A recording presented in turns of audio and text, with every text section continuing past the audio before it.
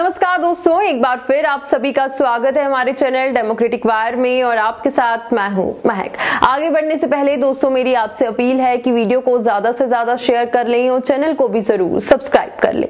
दोस्तों, इस वक्त लगभग देश के सभी राज्यों में चक्का जाम है। ये जो चक्का जाम किया गया है, ये किया है ट्रक और डंपर चालकों ने। दरअसल ट्रक चालकों ने ये जाम केंद्र सरकार के नए हिट एंड रन कानून के विरोध में किया है। इन सभी ट्रक और डंपर ड्राइवरों का कहना है कि ये कानून गलत है और सरकार इसे जल्द से जल्द वापस ले ले। इसी मांग को लेकर देश के लगभग सभी राज्यों में ट्रक चालकों ने राष्ट्रव्यापी हड़ताल कर दी है। दिल्ली, हरियाणा, यूपी और मध्य प्रदेश से लेकर महाराष्ट्र तक ट्रक रोक दिए गए हैं। चालकों ने अपने अपने ट्रक सड़कों के किनारे खड़े कर दिए हैं। ट्रकों की लंबी कतारें लगी हुई हैं। इतना ही नहीं, इस हड़ताल की वजह से कई जगहों पर पेट्रोल पंपों पर गाड़ियों की लंबी लाइनें भी लगी हुई हैं। वहीं इस हड़ताल की वजह से पेट्रोल जो है वो पंप तक नहीं पहुँच पाएगा जिसकी वजह से भारी संख्या में लोग पेट्रोल पंप पर पहुँच रहे हैं।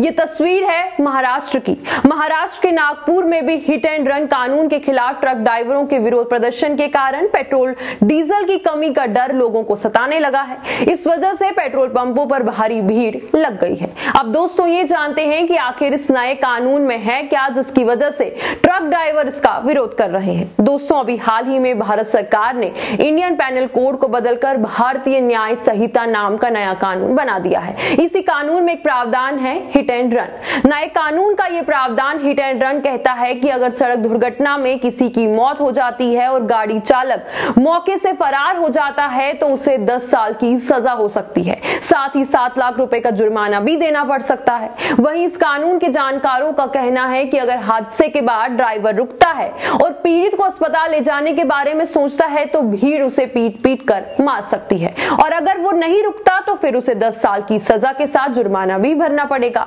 यही वजह है कि ट्रक ड्राइवर इसका विरोध कर रहे हैं। ट्रक चालकों का कहना है कि ये कानून गलत है और सरकार को इसे जल्द से जल्द वापस लेना चाहिए। दोस्तों, आप इस नए कानून पर क्या सोचते हैं? हमें कमेंट कर ज़रूर बताइएगा। इसी के साथ हमें भी दे दीजिए इजाज़त। अगली बार फिर करते हैं आपसे मुलाकात किसी दूसरी खबर के साथ। तब तक के लिए आप खुश रहिए, मज़े में रहिए और साथ ही अब जाते जाते वीडियो को भी लाइक ज़रूर करके जाइएगा।